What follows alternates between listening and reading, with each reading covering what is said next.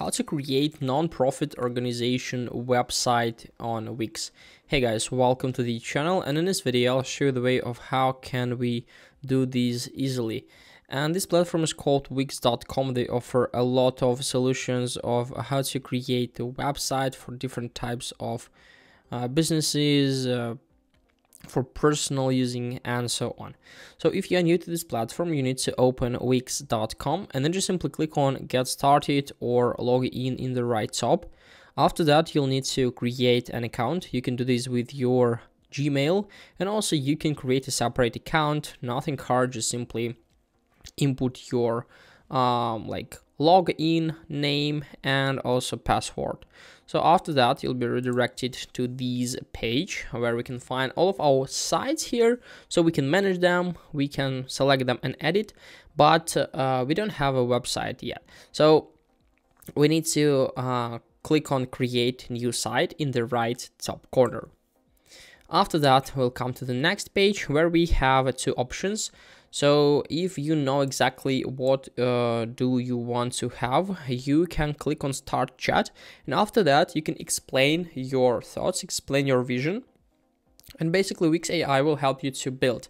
But if you don't know, if you want to see some templates, you can click on setup without chat. In my case, I'm going to use this one. And what type of website do you want to create? So here we need to input like non-profit organization. So we have these thing here and then click on continue. The next step is it will create our dashboard. So from the dashboard, uh, we can manage all the things. We can find the nations, we can see uh, some other options. But firstly, we need to select what would you like to call your website. Let it be like non-p org. So let it be like, like this. Continue. The next tab is uh, choose the apps you'd like to add. So if you want to collect donations, you can enable this feature. If you have an Instagram account, you can use this one here. We can also enable different events, blog, and as you can see, we have a lot of apps here. You can see the name, and also you can find all the uh, like small descriptions here. So let's click on continue. And the next step is go to dashboard. So on the dashboard, we have a quick checklist we can follow to make it easier. And as you can see, for non-profit organization, we have uh, four steps. So we can connect a custom domain if you need it. So we can click on let's go to check, is it like uh, available? And then we can click on make it yours. So here you can buy the domain yeah, it's really easy. You can buy it from Wix directly. So just simply follow the steps. The next step is to create your first fundraising campaign. So let's click on create campaign. And as you can see, we were redirected to donations area in the left side menu where we can find uh, all the information we can manage about this campaign. So we have the campaign name, you can add it.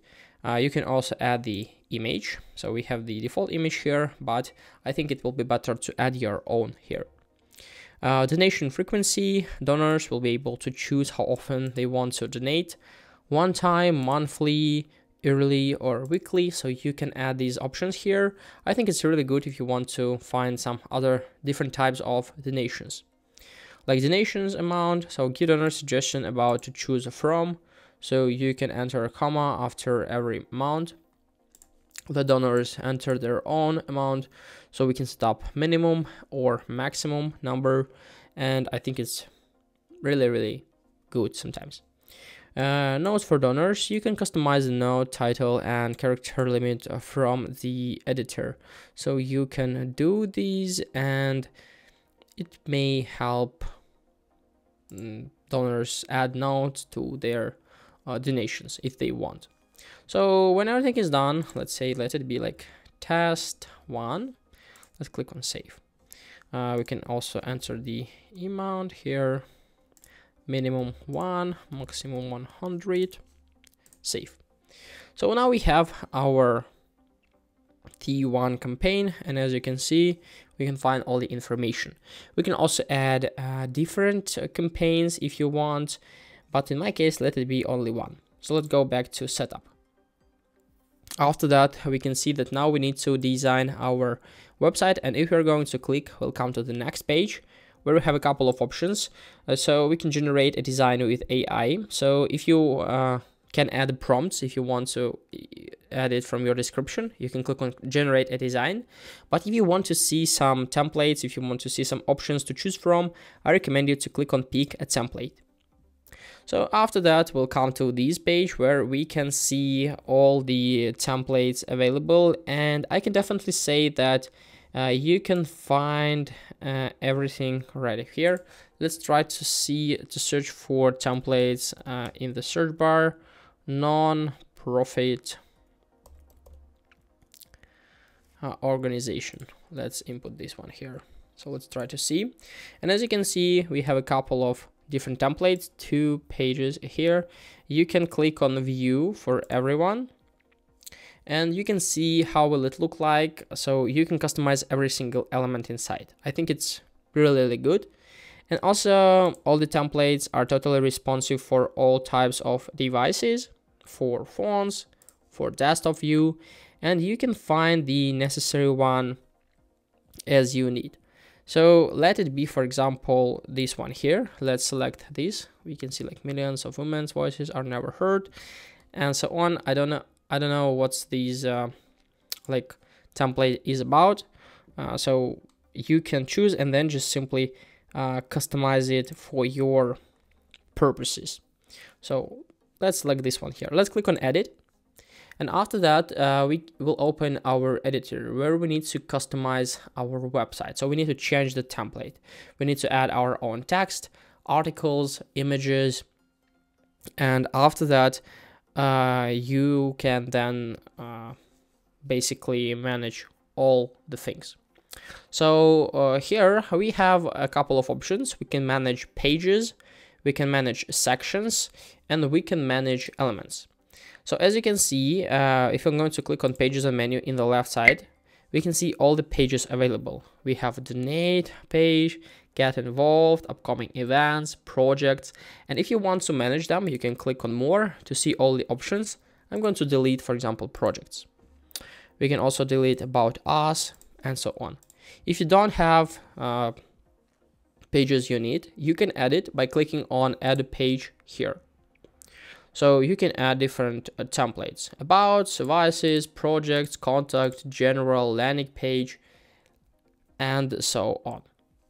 So this is the easiest way of how to add pages. Let's say we'd like to add our team. Let's click on add a page. After that, it will be automatically added.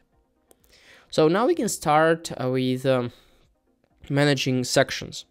Every single page contains from different sections.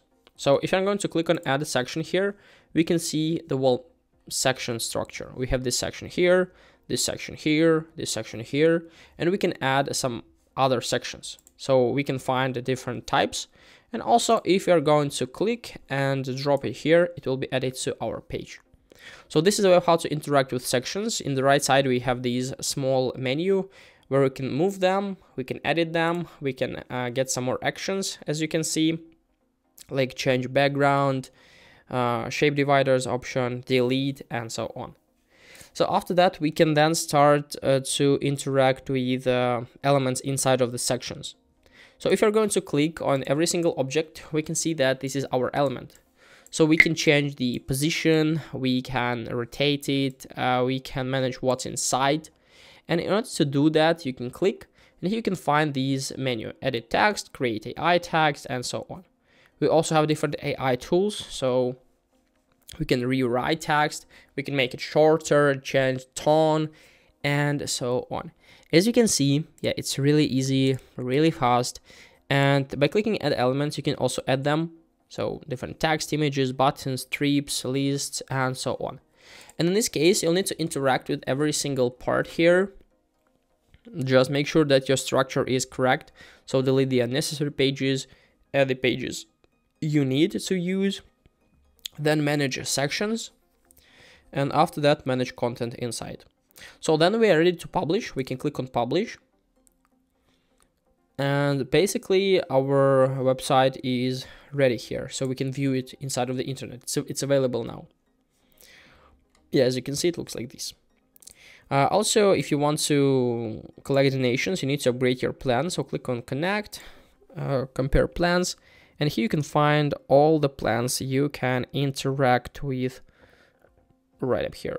So it's really easy, really fast, and I recommend you to use Wix or other platforms if you want to create a non-profit organization site. So hope this video helped you out.